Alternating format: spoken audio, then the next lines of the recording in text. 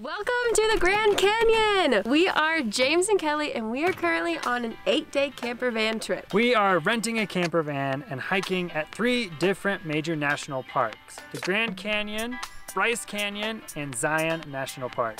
The Grand Canyon is the first leg of our journey here and we are going to take you along with us as we hike through the North Rim. Now it's time for us to get dressed for our first hike of this trip.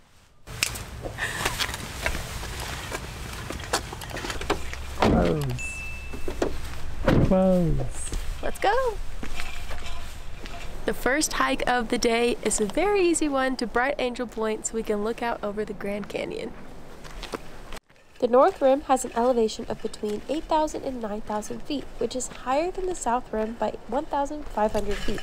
The Bright Angels path is very easy to walk. It's a paved path that takes you out to the lookout point, but on every side of us, we can see the canyon and how deep it is, the trees on the top and the red rock. It's so gorgeous.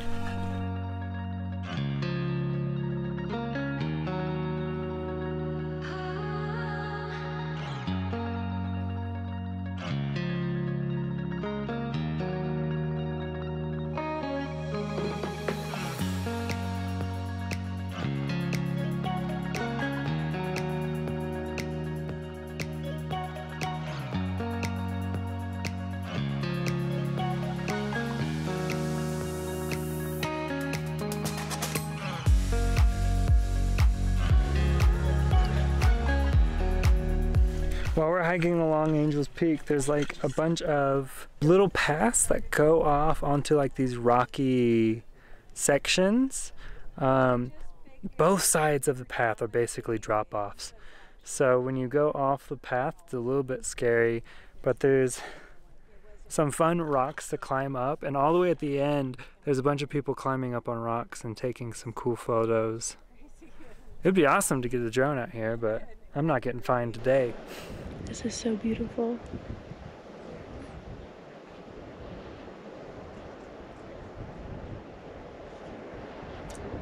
Kind of like levels off at the top.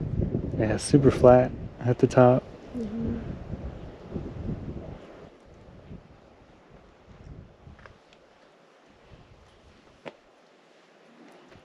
All right. On to the next trail.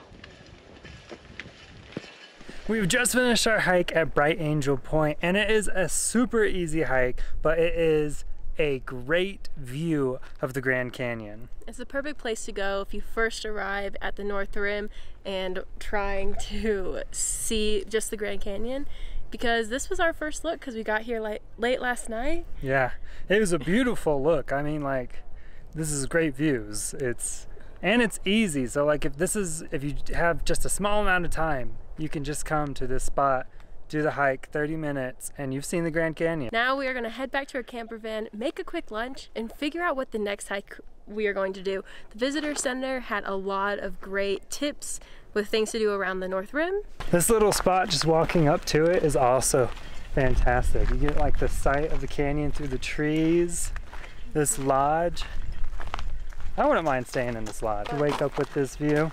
Yeah, so if we didn't have our camper van, we could have easily just stayed at one of the lodge- lodges if we planned ahead of time because these are all booked out. Yeah, we booked really late. But man, that's good. We got a map from one of the rangers, and so we've looked on it to find a trail to go onto, and we found this Widforss with two S's at the end trail that we also saw online. We have to drive a little bit away from the visitor center. It's back on this road, uh, and then we have to take a dirt road to the trailhead. But we're gonna go there. We're gonna have some lunch, and then we're gonna head out on our next trail, Widforss Trail.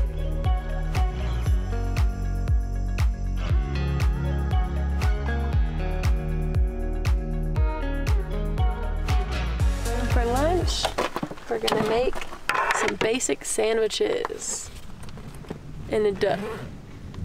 That's thunder. There's a small rain cloud right above us, so it might rain while we're eating. And then hopefully it's done.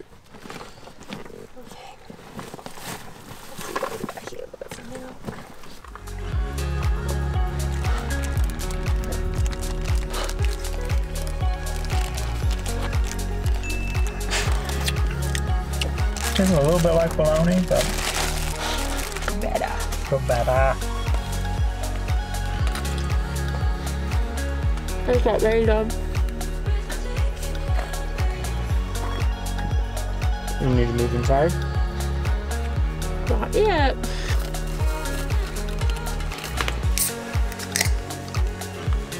Cheers. I just got right down. Just as we finished eating, the rain started to pick up just a bit. I think we're still going to attempt to go out onto the hike because it's an out and back trail. It says only about an hour to two hours. And for all we know, the rain can stop as we're hiking. So we're just gonna still do it. Get our get our feet moving, get some exercise in. It's raining. Yeah. Let's hike.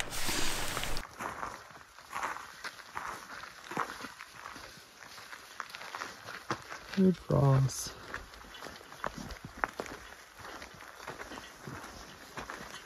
Oh, that's kind of sad. No pets. Don't want animals shitting on the trail, do you? You know, we're on this hike and it's raining, and I think that most people would probably not go hiking if it just started raining. But we came prepared. We have our nice Columbia rain jackets on.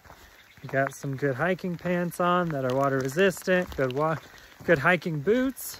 But the only bad part is, is our backpacks are water resistant. Yeah, our backpacks aren't super water resistant, but they do all right in the rain. So I think it's important that if you are planning on going hiking, you need to bring everything for the weather so it doesn't ruin your plans.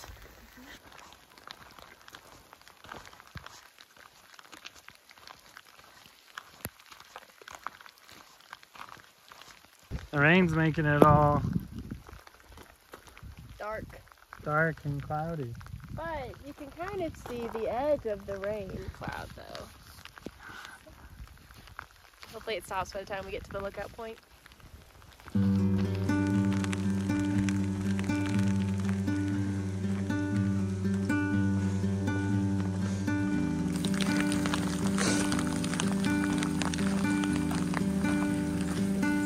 Like the rain has let up a little bit, but we can still hear the thunder from a distance.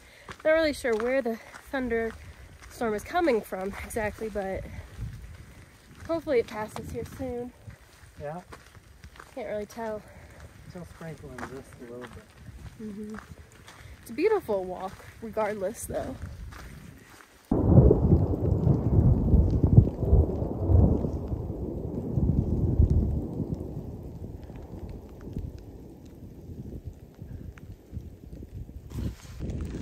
We just walked up and there's a break in the trees and we can see the canyon and it's blue, like clear skies right on the end. But it's dark in the middle. It's so cool looking.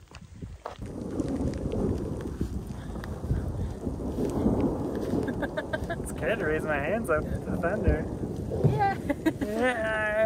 Yeah. According to AllTrails, it says we still have about three and a half hours left of this hike. And I'm not sure if that means in total, like there and back, or just there. So we really need to start picking up the pace. Hopefully, this rain ends the next minute or so because it's blue right above us. And then it'll help us go a little bit faster. Okay, we went on pretty good pace. I looked out and the mountains started going in and out. uh, it's best that we take a little pit stop. Whew. I think it's the altitude. Yeah. Got the view though.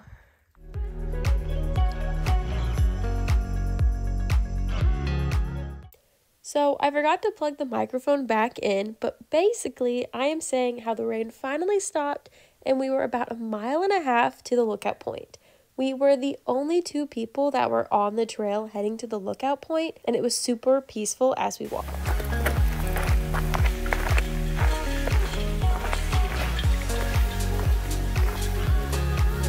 That's pretty neat. That's pretty neat. A little jig. More energy, more passion, more energy, more passion, more energy, more passion, more energy, more passion.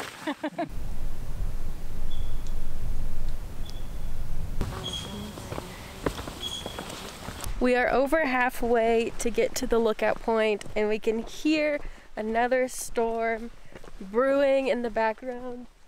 It's all right there. You can see the dark clouds right through the trees. Oh no. And so far, every person that we've passed has actually been going away from the lookout point. And we haven't had anyone pass us or we haven't seen anyone going towards it. So we might get pretty lucky, actually. This view. Beautiful. Widforss Trail is a five mile hike out to the point and then of course a five mile hike back to the trailhead. It should take, uh, with good pace, about four hours to go down and back.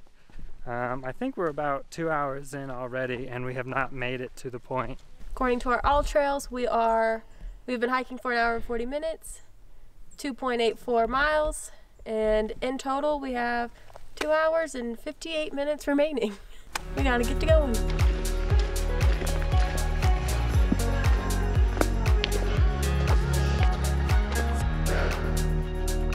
Forest Trail is a trail at the top of the North Rim Canyon. So on one side we have a beautiful view of the canyon and on the other side we have a beautiful forest.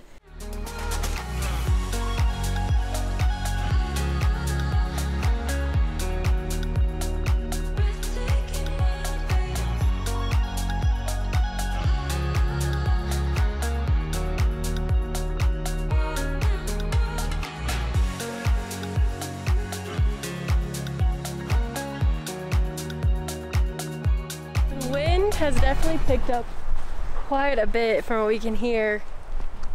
And we can't tell if the noise is just the wind or if it's also the rain. Sounds like it's pouring. Yeah. So we're almost to the peak.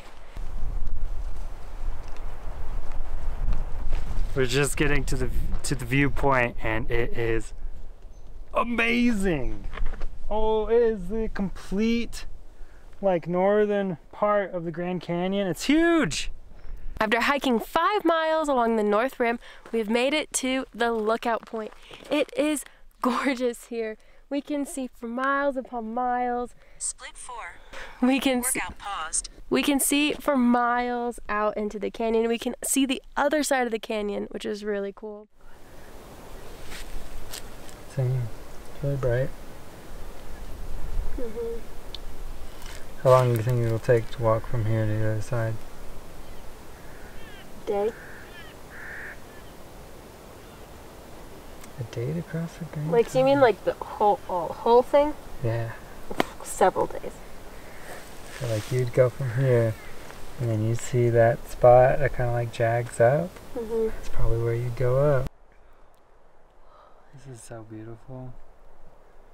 But now it's time for us to hike back. It is four o'clock and we are trying to make it before it gets dark. Let's go.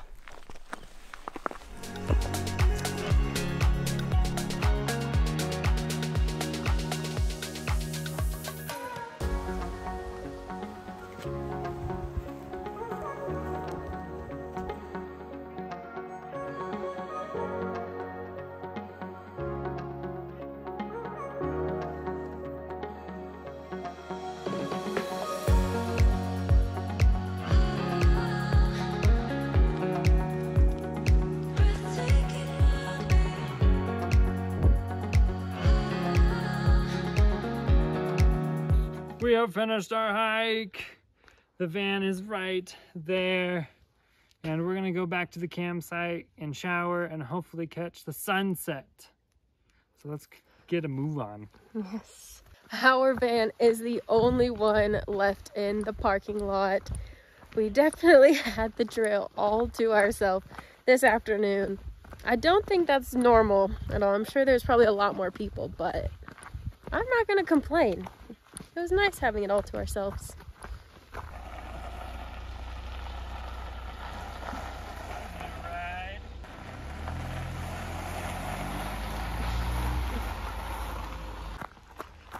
Don't leave me! Oh, we have gotten back to our campsite after showering, and the showers did not have any hot water. It was freezing. It had a sign on the wall saying, uh, at best, it will be warm, if at all. And I looked at that and said, oh, this is going to be a terrible shower. And it was completely cold for me. Um, but we finally got into our campsite and it's nighttime already. So we got our headlights. We're going to make our dinner, which is tacos tonight. Well, James is on dinner duty and I'm on cleaning out the van again. As I was looking around, I found a switch and I was like, what does this switch do? We have lights inside. This is gonna make everything so much easier now. we found out now and not, you know, a week into our trip. I know. Sometimes you just gotta press buttons.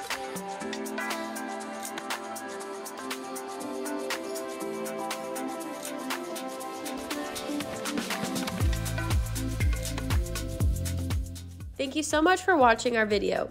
We had one more day in the Grand Canyon where we went on a scenic drive, but unfortunately I deleted all of our videos from that. But we still have a lot of days left on our Grand Canyon trip, so make sure to subscribe to our channel to see our next video from Bryce Canyon.